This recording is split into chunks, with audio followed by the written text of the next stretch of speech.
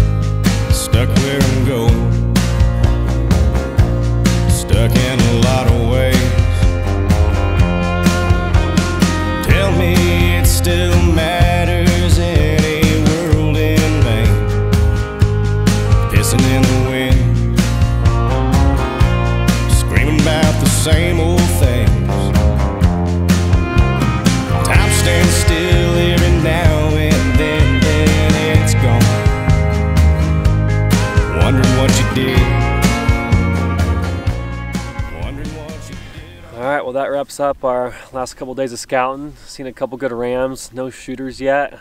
Um, been really windy. It's been really hard to turn up um, some sheep, but uh, tomorrow's our last day in wind, so we'll see what comes after that. Hunter just arrived at camp, so we're gonna head on back, do a little meet and greet, and um, yeah, go from there. We'll see what happens tomorrow. So new day.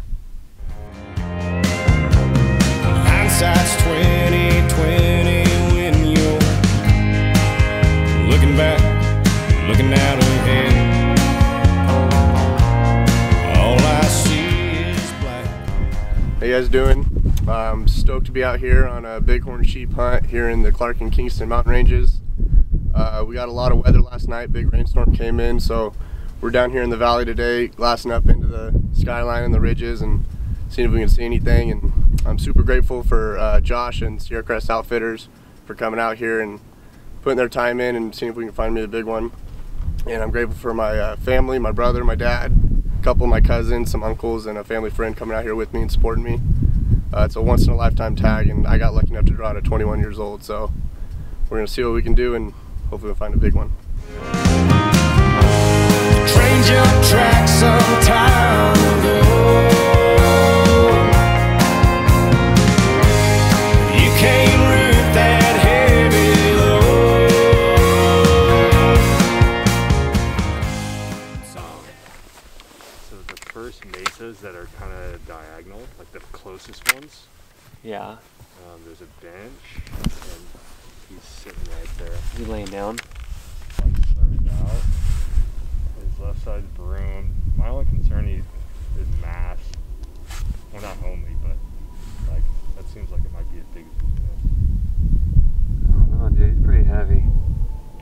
He likes at from here. Dude, he is keying in on us. Yeah. Okay. Dude, that's a good ram. I'm pretty sure. He needs to like turn and do some things like I was saying, but like he looks really nice. He's, he's, he's heavy. Like he's heavy down to like where he's broomed. He, but he comes flat off the top. That's what scares me. I gotta see him move around. He just turned.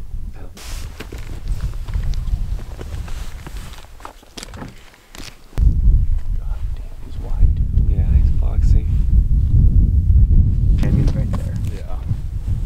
That's a good way to end it right there.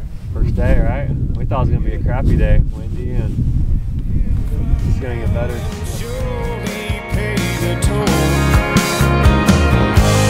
Train jump track some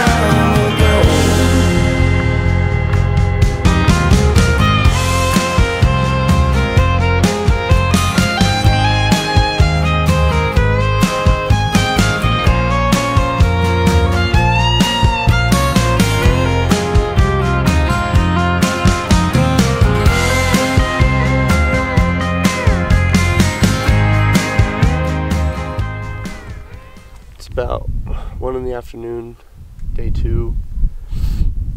We're up here. We hiked up this morning, got on this peak. We're just been glassing all day. We got guys surrounding this mountain. See if we can find any sheep come down, any rams.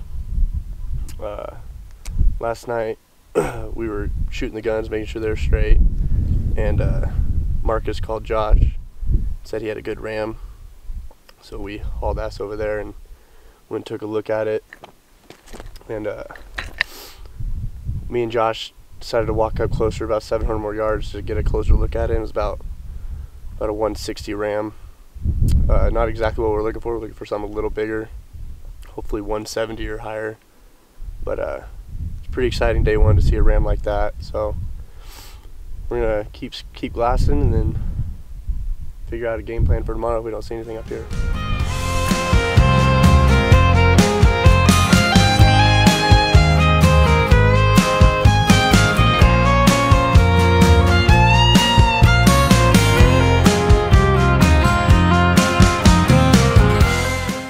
All right, we're here day three, uh, pretty early in the morning. Just had about an hour ride to the spot that we're gonna start walking up in. Uh, got some weather. There's some snow up at the peaks. Uh, it's pretty cold today. Uh, we're actually back at the same area that we uh, that Marcus spotted that night. It was actually a 164, 165 ram. So we're hoping to see some more big rams in this area. Uh, yesterday, a couple guys spotted a, some decent rams. One was about 160, and the other one was a is about a three-quarter curl. So not what we're looking for, but hopefully we see some bigger ones today, and the weather helps us out a little bit.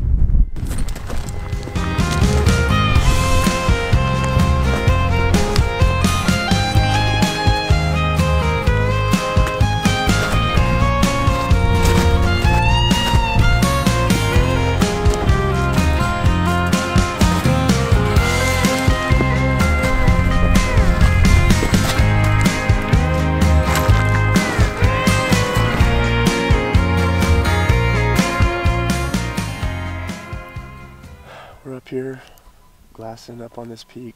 Uh, we've moved peak to peak today. It's pretty much what we've done all day. Uh, pretty slow day. We've only seen a couple ewes, um, no rams yet. Uh, we're hoping the more peaks we move, we we just see in these canyons and everything, and hopefully get a better vantage point to see where they're hiding out at. Uh, this morning we hiked up a couple miles up this little washout, and it led all the way up here, and then climbed our way up here. So we've been posted up on a few of these peaks all day, and uh, that'll probably be what the rest of the day is going to look like, and then hopefully we can find a big ram.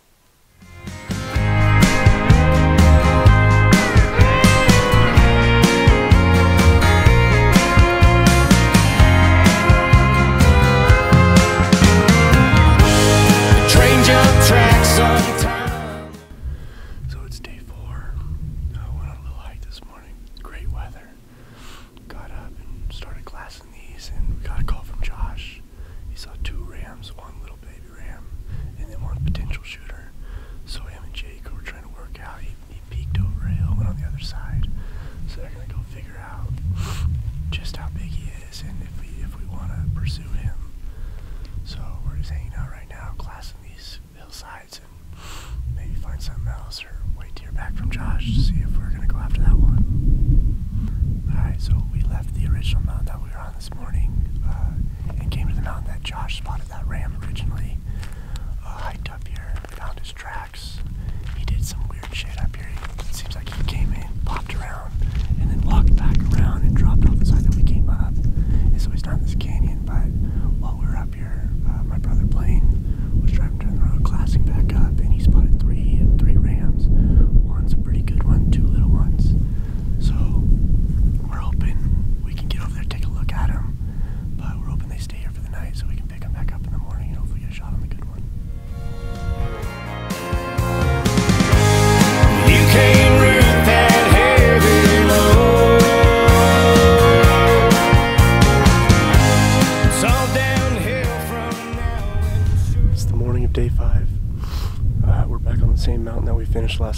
Where my brother spotted those three rams. So we surrounded the mountain, and we just got a call saying they found a ram. So we're trying to get a pinpoint on exactly where he's at, and then we're gonna try to figure out a way to stalk him, and then hopefully get a good shot, and hopefully put him down. So super exciting morning. Hopefully it turns out good.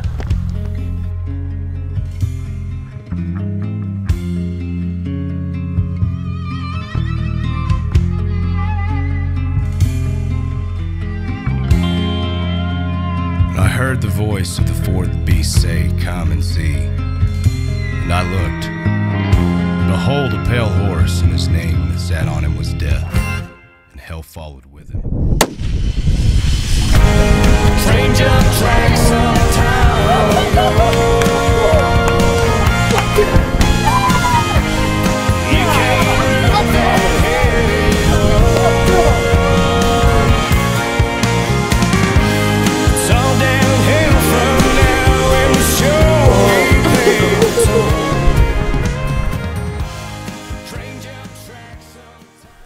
got a ram down in the uh, Clark and Kingston mountain ranges.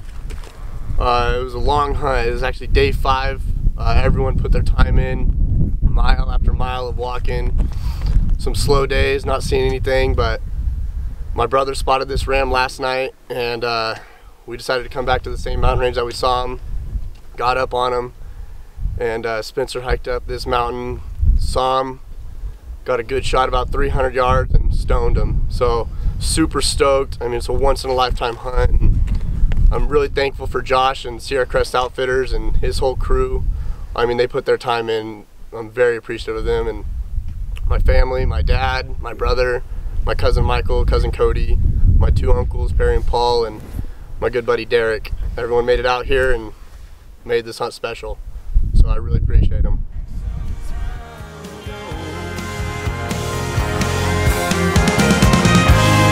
Down